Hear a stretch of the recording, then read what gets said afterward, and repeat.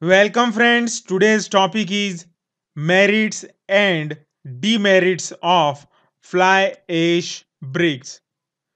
So, let's get started. Here is the question What are the merits and demerits of fly ash bricks? Here's the answer Merits.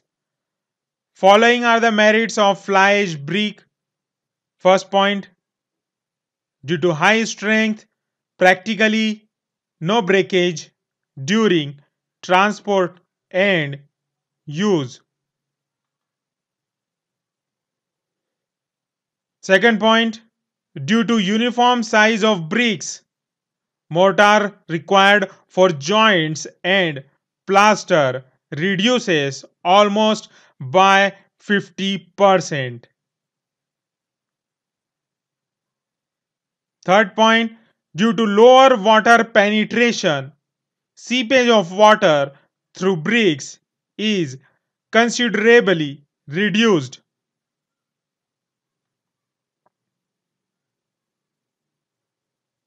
Fourth point, gypsum plaster, plaster of Paris can be directly applied on these bricks without a backing coat of lime plaster.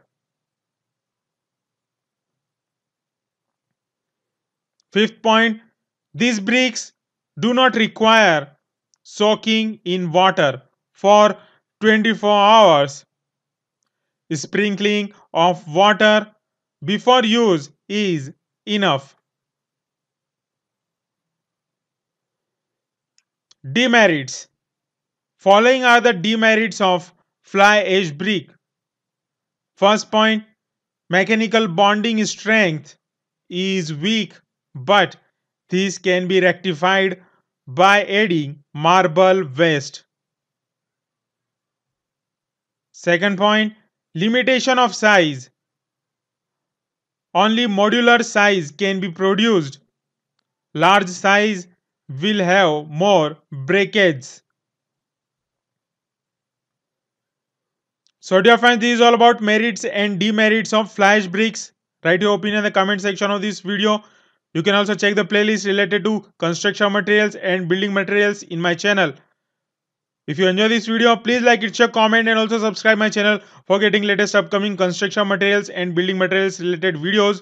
So dear friends, let's meet in another video. Thank you very much.